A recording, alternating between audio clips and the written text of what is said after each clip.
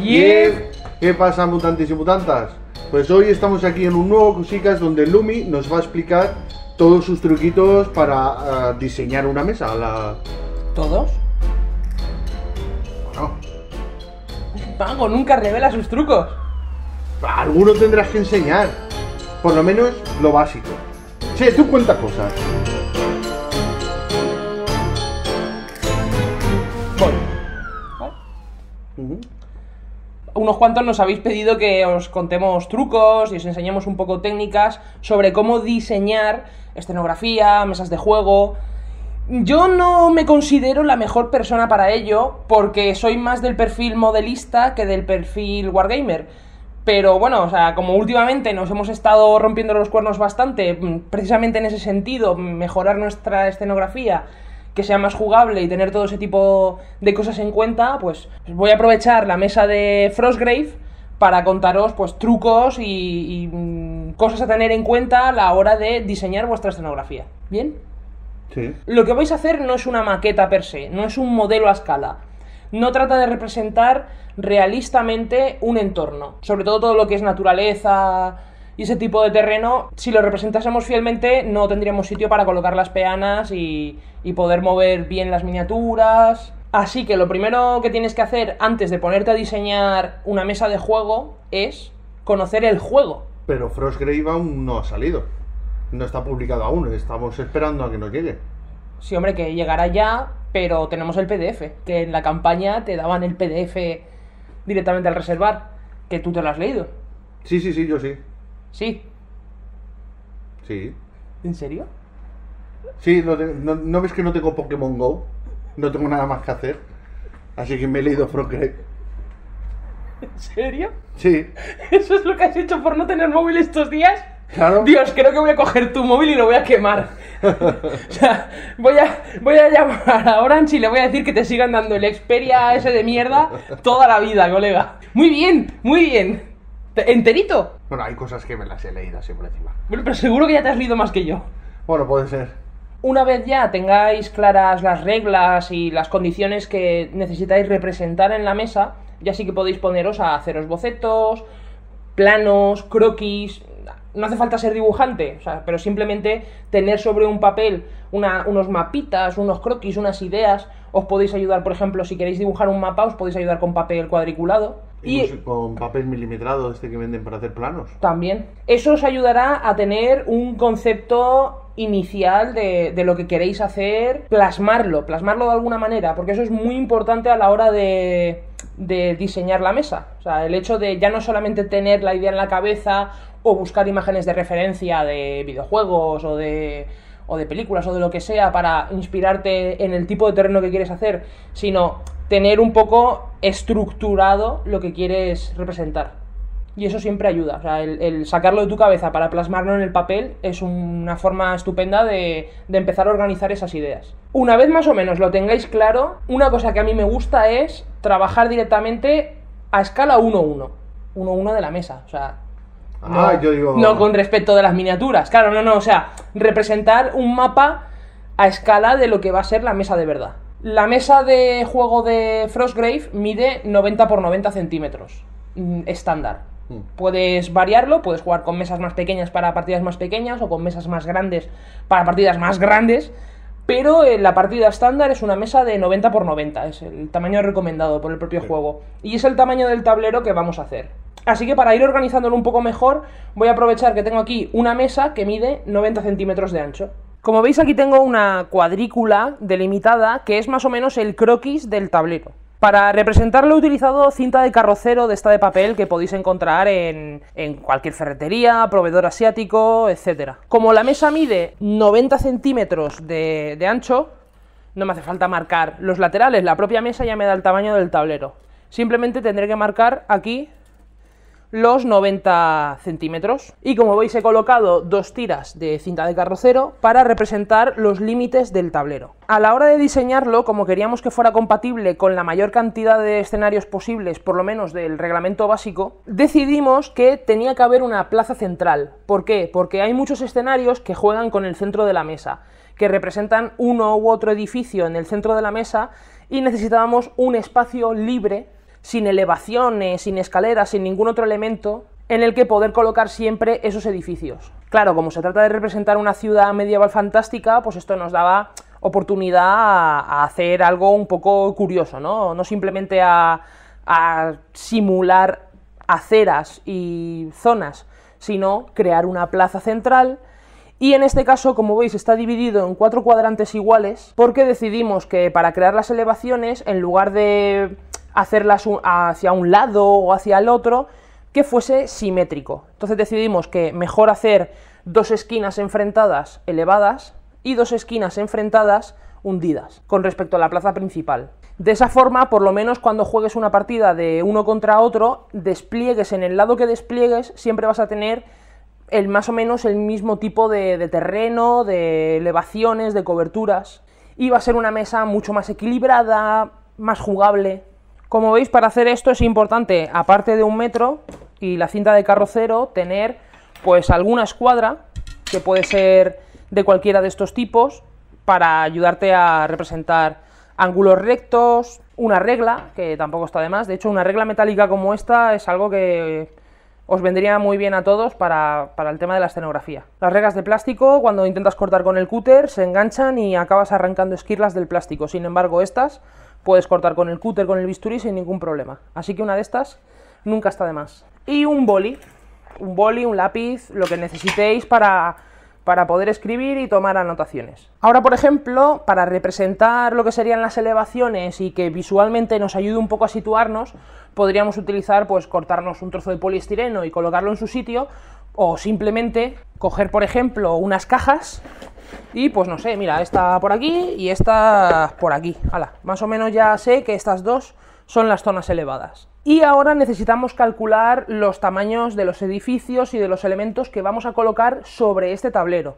Como os he comentado, siguiendo las especificaciones del juego, en este caso el Frostgrave en los escenarios te indica pues el edificio qué tamaño tiene que tener, qué medidas mínimas, si necesita, si tiene que tener eh, puertas en determinados sitios o si tiene que, que tener pasarelas o cualquier cosa así. Y para representar esos elementos, lo que hago es que me los dibujo en papel, me hago unas, unas, plantillas del tamaño del edificio y así poder colocarlas en mesa y calcular pues cuáles van a ser los tamaños, las distancias, etcétera.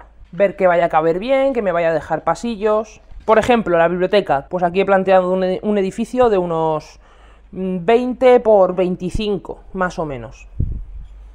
Que está bien para representar pues, un edificio, digamos, mediano, grande. Otro de los, de los escenarios del, del, manual es la Torre Silenciosa, que de hecho es el edificio más grande de todos los escenarios. Te indica que necesitas una torre de 25 centímetros y tres plantas, y que las plantas 1 y 2 tienen que estar conectadas a sendos edificios en lados opuestos.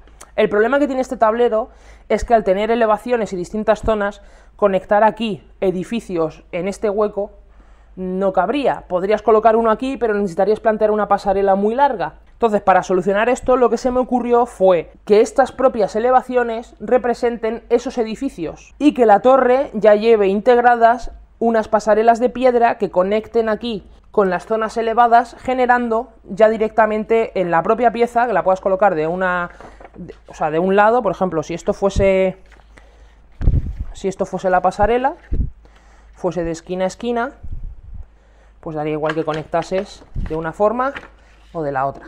Y siguiendo esta misma idea, otro escenario, que es el del pozo de los sueños y los pesares, que también va en el centro de la mesa, pues se nos ocurrió que estaría muy chulo añadirle una pasarela, un puentecito, que una también estas dos zonas a la propia pieza para que en lugar de ser simplemente un pozo, convertirlo en un monumento.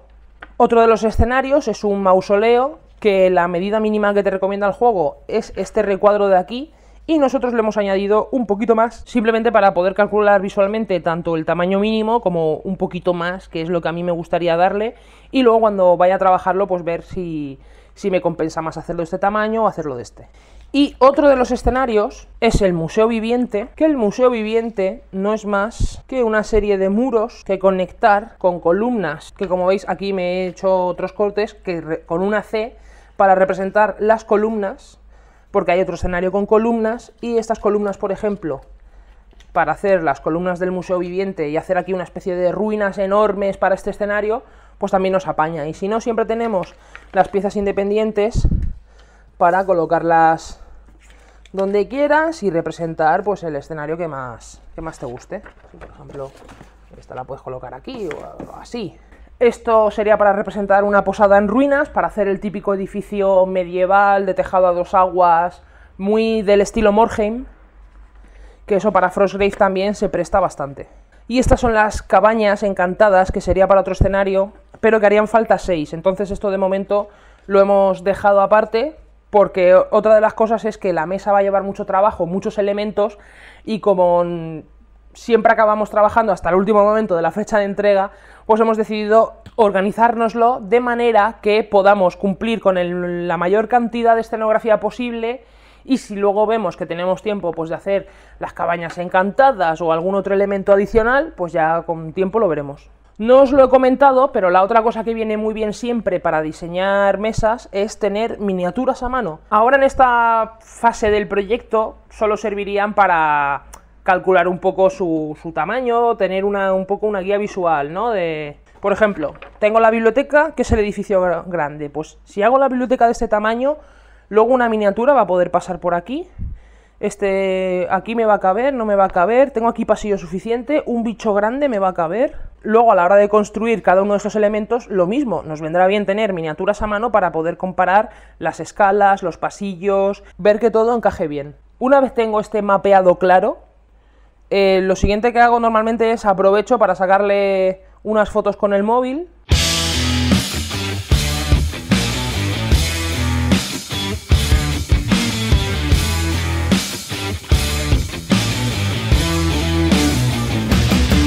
Y para que terminéis de visualizarlo, aquí tengo el tablero final de 90 x 90 contrachapado porque no quedaba DM. Fuimos a por el material al Leroy Merlin y no quedaba DM, solo había contrachapado, que es más caro, pero bueno, como nos lo teníamos que llevar para empezar ya el tablero, pues contrachapado. Y como veis por debajo, bastidor de listón del pino, del pino no, de pino.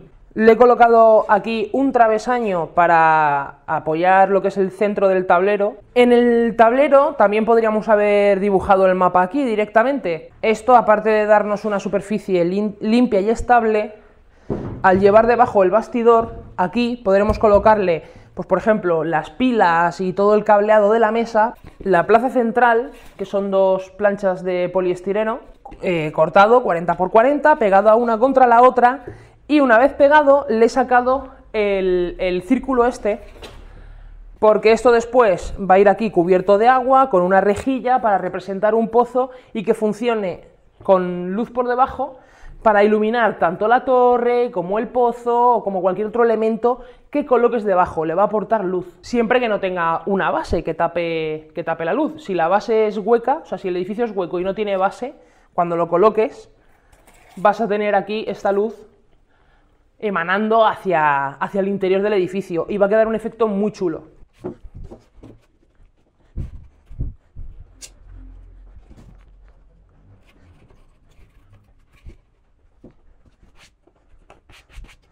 Esta plancha de poliestireno le he añadido una capa de contrachapado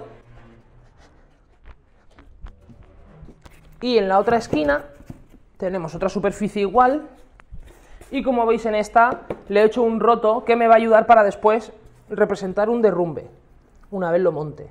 Aquí tengo unas escaleras hechas con nuestros moldes de pasta de cartón que ya visteis en la mesa de humor amarillo y en algún otro proyecto. Bueno, a esto habría que luego hacerle el agujero ahí para encajarle esos pivotes, pero bueno, más o menos para que, para que veáis la representación, tanto aquí como aquí, va a tener este tipo de escaleras para poder subir a los dos lados y luego por el otro lado, como cada una va a ser distinta, tendrá un tipo de acceso distinto. Este será un derrumbe y este seguramente aquí habrá un establecimiento con una entrada. Lo mismo, viene bien tener miniaturas a mano siempre para poder colocarlas, calcular dónde caben las bases, tamaños, esta altura cubre una miniatura o esta de aquí cubre una miniatura. Esta lámina de contrachapado es para añadirle un extra de resistencia a esta plancha de poliestireno para que así cuando representemos el dungeon pues si aquí, por ejemplo, le hace falta que le coloquemos con un listón un pilar y algún otro adicional, pero no tener que llenarlo todo de pilares y que esto siga teniendo mm, dureza, resistencia y que aguante. Y como veis, pues el rollo de meterle el dungeon lateral a estas zonas le va a dar muchísimo más juego. Irá iluminado para que quede todavía más visual y más chulo y...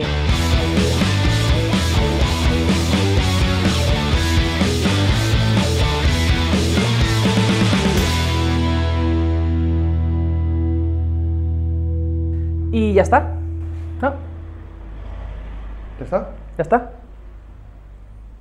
Tampoco es tan difícil, ¿no? Diseñar una mesa. Solo nos ha costado cuatro años llegar hasta aquí. cuatro años de, Scratch- de Scratch Attack. Lo que, lo que no ha salido aquí son las peleas. No. Yo es que no me gusta no, las escaleras en torcido, no, las quiero poner rectas. Ahí va la bodega, no, ahí va la biblioteca. ah.